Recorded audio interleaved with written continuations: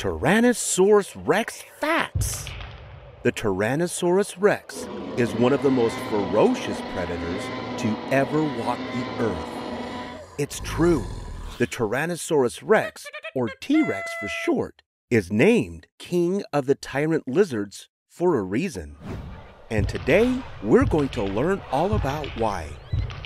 When it walked the earth, the T Rex was an apex predator, meaning that it was at the very top of the food chain with no animal predators of its own. Found mostly in western North America during the late Cretaceous period, around 68 million years ago, the T Rex was built for dinosaur domination. The average length of a T Rex from snout to tail was around 40 feet, which is about the same length as a school bus.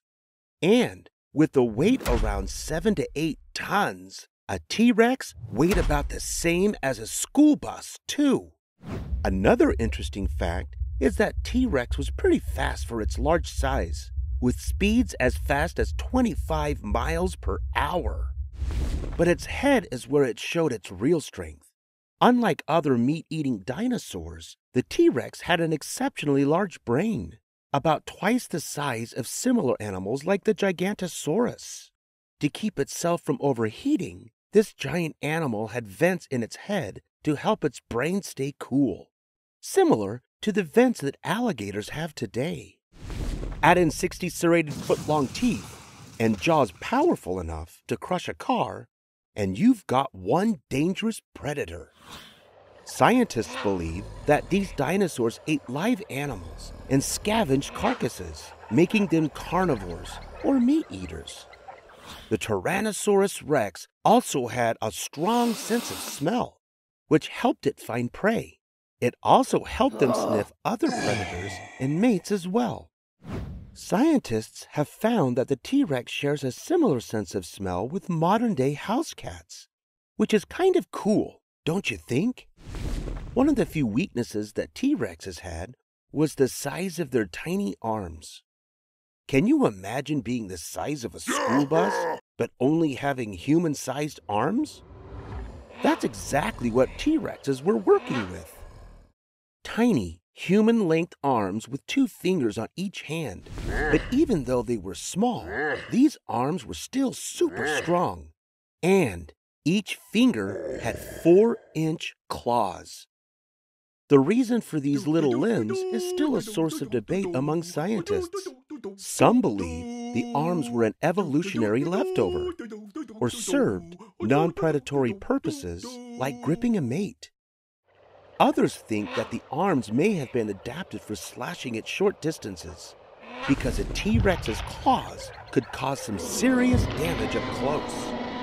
Whatever the reason, it's interesting to think about. Want to know a fun fact? Did you know that T Rexes are related to chickens? Seriously. There are two main groups of dinosaurs Ornithischians, or those who walked on two legs and have hip bones like those of birds today, and Saurischians, those with hip bones like a lizard. T Rexes are part of the first group, and so they're a distant cousin of modern day chickens. Some scientists think that this dinosaur may even have had some feathers of its own.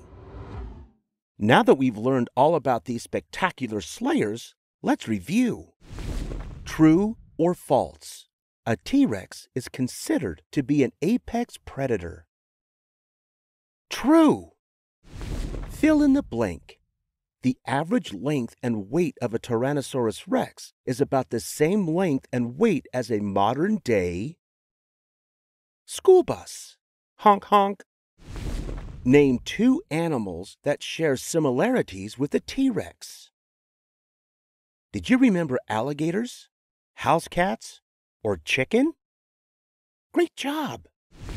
True or false? The Gigantosaurus had a bigger brain than the Tyrannosaurus rex. False. A T Rex's brain was twice the size of a Gigantosaurus's. What is one of T Rex's weaknesses? Tiny arms. Great job, everybody! You're well on your way to becoming T Rex triumphs. Probably one of the most famous of all the dinosaurs, the Tyrannosaurus rex was a formidable foe. With lots of interesting abilities and skills, it's not hard to see why they were at the very top of the food chain. The next time you see a bus drive by, picture what it would be like if that bus was a dinosaur ready to chase its prey. Hope you had fun learning with us. Visit us at learnbright.org for thousands of free resources and turnkey solutions for teachers and homeschoolers.